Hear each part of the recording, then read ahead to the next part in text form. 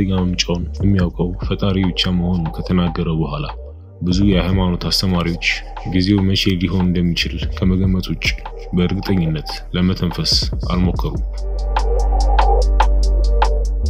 ላለፉት ሁለት ዓመታት ግን በዓለማችን ላይ እየታዩ ያሉት ምልክቶች የሃይማኖት መሪዎችን ብቻ ሳይሆን የሳይንስ ተመራማሪዎችንም የመጨረሻው ሰዓት መቃረቡን የሚያመለክቱ መሆናቸውን ወደ መቀበሉ እንዲያዘነብሉ እያስገድዳቸው ይገኛል። ከእነዚህ ምልክቶች መሃል ደግሞ በዋነኝነት የሚጠቀሰው በመጽሐፍ ቅዱስ ገነትን ያጠጣሉ ከተባሉት አራት ወንዞች አንደኛው ሙሉ በሙሉ ወደ መድረቅ በመቃረቡ ነው። ይህ የምታዩት የኤፍራጥስ ወንዝ በ2020 ሲሆን በሁለት ዓመታት ልዩነት ብቻ እንደምታዩት በሚያስደነግጥ ሁኔታ ቀንሷል። እና የዚህ ወንዝ መድረቅ አሳሳቢ የሚያደርገው ምንድን ነው? ይህ ወንዝ ለማወቅ በታሪክ ወደ ኋላ መለስ ብለን በመጽሐፍ ቅዱስና በታሪክ ጸሐፊዎች ስለዚህ ወንዝ የተጻፈውን መመልከት ግድ ይለናል። አብራችን ቆዩ።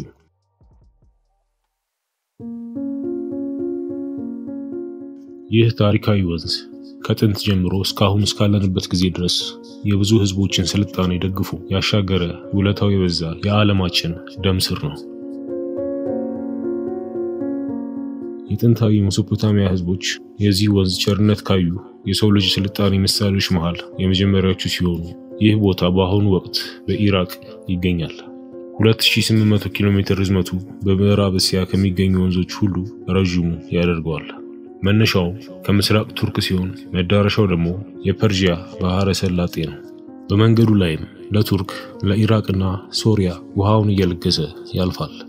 ኤፍራጥስ ወንዝ በአብዛኛው ግብዓቱን የሚያገኘው ከዝናብና ከተራሮች ከሚቀልጠው የበረዶ ፈሳሽ ነው። ጥንታዊ ባቢሎንም ይህ ወንዝ ካፈራቸው ስልጣኔዎች መሃል አንዱ ነው። ይህ ከአራት ሺህ ዓመት በፊት የነበረ ጥንታዊ ከተማ በአሁኑ ወቅት ፍርስራሹ ኢራቅ በሚገኘው ኤፍራጥስ ወንዝ ዳርቻዎች ላይ ይገኛል። በሐሙራቢ አገዛዝ ስር ባቢሎን በጥንታዊ ዓለም ከታዩ ሀያል ከተሞች መሃል አንዱ ሊሆን ችሏል። አንደኛውን የዓለም ጦርነት ተከትሎ በ1923 የኦቶማን ግዛት ከተከፋፈለ በኋላ በሎሳን የሰላም ስምምነት ላይ የደቡብ ምስራቅ እስያ ድንበር በአዲስ መልክ ተሰመረ። በወቅቱ በድርድሩ ላይ ተሳታፊ የነበሩት ሶስቱ የኤፍራጥስ ወንዝ የሚፈስባቸው ሀገራት ቱርክ፣ የሶሪያ ቅኝ ገዢ የነበረችው ፈረንሳይ እና የኢራቅ ቅኝ ገዢ የነበረችው እንግሊዝ ናቸው። እንደ ኤሮፓያን አቆጣጠር በ1946 ቱርክና ኢራቅ በስምምነት ላይ የደረሱ ሲሆን ስምምነቱ ቱርክ በታይግረስ እና በኤፍራጥስ ወንዝ ላይ ለምታደርገው ማንኛውም ለውጥና እንቅስቃሴ ለኢራቅ ማሳወቅ እንዲሁም ግድብ ለመገደብ የኢራቅን ፍቃድ መጠየቅ እንዳለባት ነው። ኢራቅም በቱርክ ፈቃደኝነት የኤፍራጥስን የውሃ ፍሰት ለመቆጣጠር በማሰብ በቱርክ ግዛት ውስጥ ግድብ ገነባች። በ1970 GAP የተባለውን ደቡብ ምዕራብ እስያን የማልማት ፕሮጀክት ምክንያት በማድረግ ለመስኖና ለ hydro power ኃይል ምንጭ ለመዋል ወንዞቹን መገደብ ጀመረች። ቱርክና ሶሪያ ከባንና ታብቃ የተባለውን ግድቦቻቸውን በአንድ ዓመት ልዩነት በመጨረስ በ1975 የውሃ ሙሌት ተጀመረ። ሙሌቱ በተጀመረ በዚያው ዓመት አካባቢው በከፍተኛ ድርቅ ተመታ። ወደ ኢራቅ ይፈስ የነበረው ውሃም በ1973 15.3 ኪዩቢክ ኪሎ ሜትር የነበረ ሲሆን በ1975 ወደ 9.4 ኪዩቢክ ኪሎ ሜትር ወረደ። ይህ ደግሞ አካባቢው ላይ ላሉት ሀገራት የሰላም ጠንቅ ሆነ። ኢራቅም ታብቃ ግድብን ለማፈንዳት ማስፈራራት ጀመረች። ሆኖም ሳውዲ አረቢያና ራሽያ ጣልቃ በገቡ ወቅት ሀገራቱ ተደራድረው ስምምነት ላይ ሊደርሱ ቻሉ። የእነዚህ ሁለት ግድቦች መገንባት በሀገራቱና በአካባቢው ሕዝብ ሕይወት ላይ አሉታዊ ተጽዕኖ አሳርፏል። ይህም ተጽዕኖ 382 የሚሆኑ መንደሮች ላይ የበረታ ሲሆን 200 ሺህ ሰዎች ከቦታው እንዲፈናቀሉ ምክንያት ሆኗል። ይህም ሁኔታ እየከፋ መጥቶ በቅርብ ዓመታት የኤፍራጥስ ወንዝ በአደገኛ ሁኔታ ዝቅ እያለ መጥቷል። ከቱርክ ወደ ሶሪያ የሚወርደው የውሃ መጠን በሰከንድ 200 ኪዩቢክ ሜትር ሲሆን ይህ ደግሞ በ1987 ሁለቱ ሀገራት ከተስማሙበት ከግማሽ ያነሰ ሆኖ እናገኘዋለን። በቅርብ ጊዜ በኤፍራጥስ ወንዝ ዳርቻዎች የተነሱ ፎቶዎችና ቪዲዮዎችን ስንመለከት አብዛኛው የወንዙ ክፍል መድረቁን ያሳያሉ። እነዚህ በአንድ ወቅት ለአካባቢው ልምላሜና ለሕዝቡ ኑሮ መሰረት የነበሩ ቦታዎች አሁን ሙሉ በሙሉ ለማለት በሚያስደፍር ሁኔታ ወደ በረሃነት ተለውጠዋል። በሶሪያ ኤፍራጥስ ወንዝ ላይ በትልቅነቱ ሁለተኛ የሆነው በሮዣቫ ግድብ የተቀዱ ምስሎች እንደሚያሳዩት የወንዙ ውሃ በከፍተኛ ደረጃ ወርዷል። ለዓመታት ኤፍራጥስ ወንዝን በሶሪያና በኢራቅ ላይ እንደ መሳሪያ ሲጠቀም የነበረው የቱርክ ግዛት በተሳካ ሁኔታ የውሃውን ፍሰት ሊያሽቆለቁለው ችሏል። በ1987 በደማስከስና በአንካራ በተደረገው ስምምነት መሰረት ቱርክ 500 ኪዩቢክ ሜትር ያህል ውሃ ለሶሪያ መልቀቅ የነበረባት ቢሆንም በአሁኑ ወቅት ስምምነቱን በማፍረስ ቱርክ የምትለቀው የውሃ መጠን በሰከንድ ከ200 ኪዩቢክ ሜትር ያነሰ ሆኗል። የውሃው ፍሰት ከመጠን ባለፈ ሁኔታ መቀነሱ በአካባቢው ላይ ያሳረፈው ተጽዕኖ በግልጽ የሚታይ ነው። በዚህም ምክንያት በሶሪያ የሚገኘው የግድብ ሐይቅ ከፍታ በመውረዱ ለአካባቢው የሚዳረሰው የኤሌክትሪክ ኃይል በእጅጉ ቀንሷል።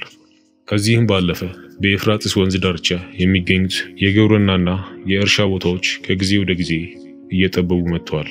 የሚጠጣ ንጹህ ውሃ ማግኘትም አስቸጋሪ ሆኗል። ይህ ደግሞ ከፍተኛ የጤና ችግር በማስከተል ላይ ይገኛል። የሶሪያ መስተዳደርም ቱርክ እያደረገች ያለችው ከፍተኛ የውሃ ቅነሳ በወንዙ ዳርቻ ላይ ለሚገኙት ዘጠኝ ሚሊዮን ሲሪያኖች ሕይወት እንደሚያሰጋና ከፍተኛ የሁማኒቴሪያን ችግር እንደሚያስከትል በማስጠንቀቅ ላይ ይገኛል።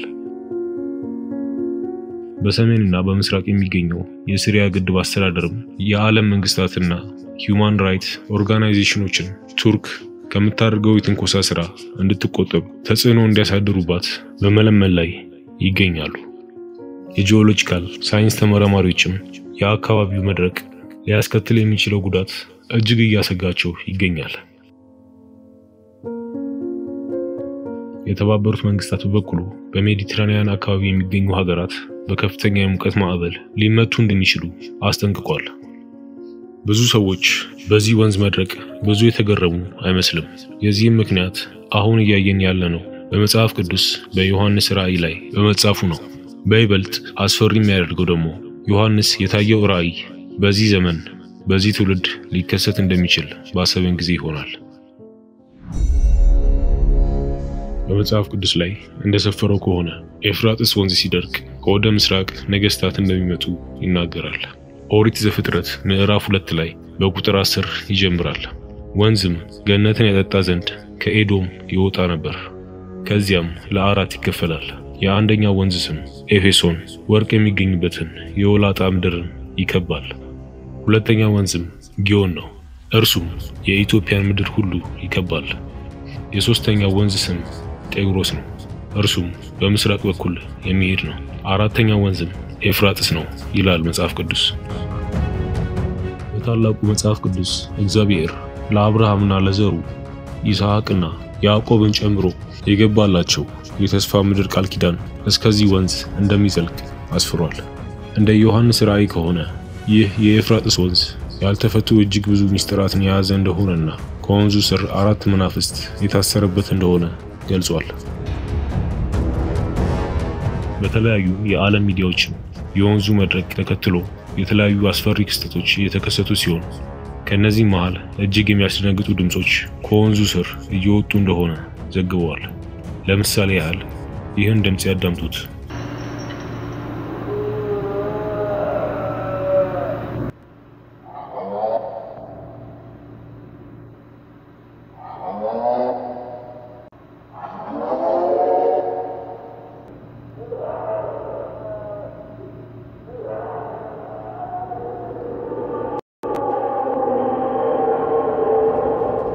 ከዚህም ሌላ በውሃው ተሸፍኖ የነበሩ በሮችና ዋሻዎች መገለጣቸው ነገሩ ወዴት ነው የሚያስብል ያደርገዋል።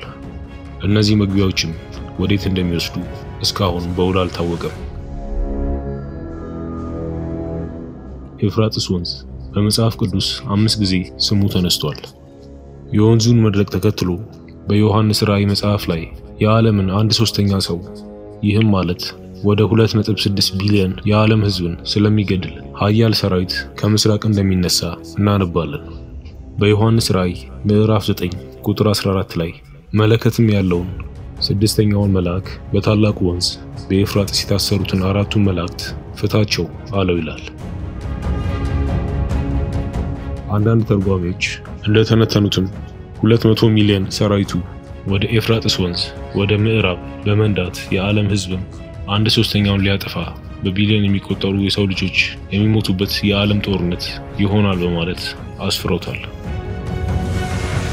ዮሐንስ በራእዩ ምዕራፍ 16 ቁጥር 12 ጀምሮ ስድስተኛውም ጽዋውን በታላቁ ወንዝ በኤፍራጥስ ላይ አፈሰሰ፣ ከፀሐይም መውጫ ለሚመጡ ነገስታት መንገድ እንዲሰናዳላቸው ውሃውም ደረቀ በማለት ትንቢቱን በመጽሐፍ ቅዱስ አስቀምጧል። እና ወንዙ ሙሉ በሙሉ በሚደርቅበት ሰዓት ከጥልቁ የሚወጡት መናፍስት እነማን ናቸው? እነዚህ መናፍስቶች የሰው ልጅ እንዲጠብቁ በፈጣሪ ተልከው ወደ ምድር የወረዱ እንደነበሩ በመጽሐፈ ሄኖክ ሰፍሯል።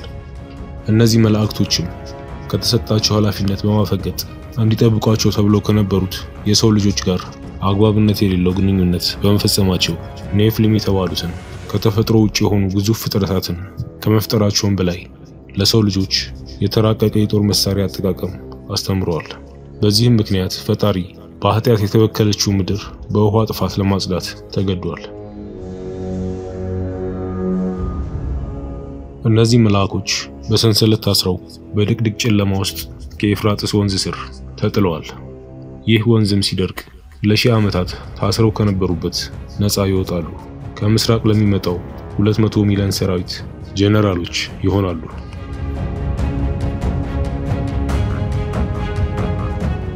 በዮሐንስ ራእይ ምዕራፍ 6 ቁጥር 12 ላይ ኤፍራጥስ ወንዝ በመድረቁ ከምስራቅ የተነሳው ሰራዊት ወንዙን ተሻግሮ ወደ ምዕራብ እንደሚዘምት ይናገራል።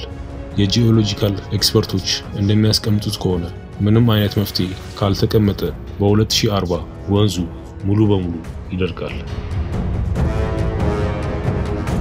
በዳንኤል ምዕራፍ 9 ቁጥር 27 ላይ የመጨረሻው ቀን ሲቃረብም ከአሰቃቂ ጦርነት በኋላ የዓለም መንግስታት ለሰባት ዓመት የሚዘልቅ የሰላም ስምምነት ያደርጋሉ።